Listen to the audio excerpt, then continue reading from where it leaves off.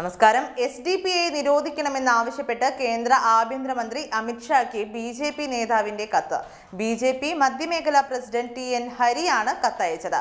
സംഘടനയുടെ ഫണ്ടിങ്ങും തീവ്രവാദ ബന്ധവും അടക്കം വിഷയങ്ങളിൽ അന്വേഷണം വേണമെന്നും കത്തിൽ ആവശ്യപ്പെടുന്നു. സമീപകാലത്ത് നടന്ന രണ്ട് ആർ എസ് എസ് പ്രവർത്തകരുടെ കൊലാപ ക്ഷമിക്കണം. ആർ എസ് എസ് പ്രവർത്തകരുടെ കൊലപാതകത്തിന് പിന്നിൽ എസ് ഡി പി ഐ ആണെന്നും ഈ സാഹചര്യത്തിൽ കേന്ദ്ര ആഭ്യന്തര മന്ത്രാലയത്തിന്റെ ഇടപെടൽ ആവശ്യമാണെന്നും പറയുന്നു. കേരളം തീവ്രവാദികളുടെ സങ്കേതമായെന്നും എസ് ഡി പി ഐയുടെ തീവ്രവാദ പ്രവർത്തനങ്ങൾക്ക് സംസ്ഥാന സർക്കാർ ഒത്താശ ചെയ്യുന്നതായും ഹരി കത്തിൽ ആരോപിക്കുന്നുണ്ട്. പാലക്കാട് മമ്പരത്ത് ആർ എസ് എസ് പ്രവർത്തകൻ സഞ്ജിത്തിന്റെ കൊലപാതകത്തിന് പിന്നിൽ എസ് ഡി പി ഐ ആണെന്നാണ് ബി ജെ പിയുടെ ആരോപണം. കൊലയ്ക്ക് പിന്നിൽ തീവ്രവാദ ബന്ധമുണ്ടെന്നാണ് ആരോപണമുള്ളത്. ഇതിന്റെ ഭാഗമായി സഞ്ജിത്തിന്റെ കൊലപാതക കേസ് എൻ ഐ എ ഏറ്റെടുക്കണമെന്ന് ആവശ്യപ്പെട്ട് ബി ജെ പി സംസ്ഥാന അധ്യക്ഷൻ കെ സുരേന്ദ്രൻ ഗവർണറെ സമീപിച്ചിരുന്നു. പരിശീലനം സിദ്ധിച്ച തീവ്രവാദികളാണ് കൊലപാതകം നടത്തിയതെന്നും രണ്ടായിരത്തി ഇരുപത് മുതൽ സഞ്ജിത്തിനെ വധിക്കാൻ ഗൂഢാലോചന നടത്തുന്നുണ്ടെന്നാണ് അറിയാൻ കഴിഞ്ഞതെന്നും കെ സുരേന്ദ്രൻ പറഞ്ഞു.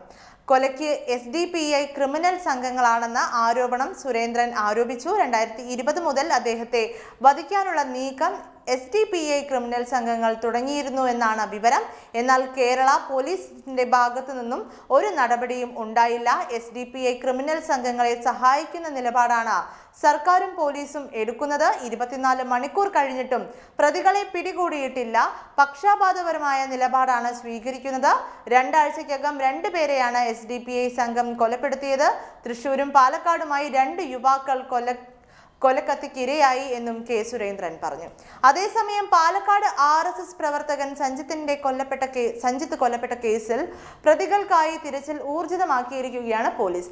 സഞ്ജിത്തിനെ വെട്ടിക്കൊലപ്പെടുത്തിയ പ്രതികളിൽ ഒരാളുടെ രേഖാചിത്രം പോലീസ് ഇന്ന് തയ്യാറാക്കും. സഞ്ജിത്തിന്റെ ഭാര്യയും സംഭവത്തിന്റെ ദൃക്സാക്ഷിയുമായ അർഷിക നൽകിയ വിവരത്തിന്റെ അടിസ്ഥാനത്തിലാണ് രേഖാചിത്രം തയ്യാറാക്കുന്നത്. കൊലപാതകം നടന്ന് രണ്ട് ദിവസം പിന്നിട്ടിട്ടും പ്രതികളെ പിടികൂടാൻ സാധിക്കാത്തതിൽ പോലീസിനെതിരെ വിമർശനം ശക്തമാകുന്ന സാഹചര്യത്തിലാണ് ലഭിക്കുന്ന വിവരത്തിന്റെയും സാക്ഷികളുടെയും സഹായത്തോടെ പ്രതികളിൽ ഒരാളുടെ രേഖാചിത്രം തയ്യാറാക്കാൻ തീരുമാനിച്ചത്. ഉത്തരമേഖല ഐ ജി അശോക് യാദവിന്റെ നേതൃത്വത്തിലുള്ള അന്വേഷണ സംഘത്തിന്റെ നിർദ്ദേശപ്രകാരമാണ് നടപടി മുന്നോട്ട് പോകുന്നത്. രേഖാചിത്രം കണ്ട് എല്ലാ സാക്ഷികളുടെ ഉറപ്പുവരുത്തിയ ശേഷം മാത്രമായിരിക്കും പ്രതിക്കായി ലുക്കൌട്ട് നോട്ടീസ് പുറപ്പെടുവിക്കുക. പ്രതികൾ സംസ്ഥാനം വിട്ടതായാണ് അന്വേഷണ സംഘത്തിന് ലഭിച്ചിരിക്കുന്ന വിവരം ഇവർ കോയമ്പത്തൂരിലേക്കായിരിക്കാം പോയിരിക്കാം എന്നാണ് പോലീസിന്റെ സംശയം. സി സി ടി വി ദൃശ്യങ്ങൾ കേന്ദ്രീകരിച്ചുകൊണ്ട് പ്രതികൾക്കായുള്ള തിരച്ചിൽ ഊർജിതമാക്കണമെന്ന് പോലീസ് പറഞ്ഞു. നവംബർ പതിനഞ്ചിനാണ് ആർ എസ് എസ് പ്രവർത്തകനായ എല്ലപ്പുള്ളി സ്വദേശി സഞ്ജിത്തിന്റെ ആ, സഞ്ജിത്തിനെ പട്ടാപ്പകൽ നടുറോട്ടിൽ കൊല്ലപ്പെടുത്തിയത്. രാവിലെ ഒൻപത് മണിയോടെയായിരുന്നു ആക്രമണം. കാറിലെത്തിയ നാലംഗ സംഘമാണ് ആക്രമണം നടത്തിയത്. ഭാര്യയുമായി ബൈക്കിൽ പോവുകയായിരുന്നു സഞ്ജിത്തിനെ.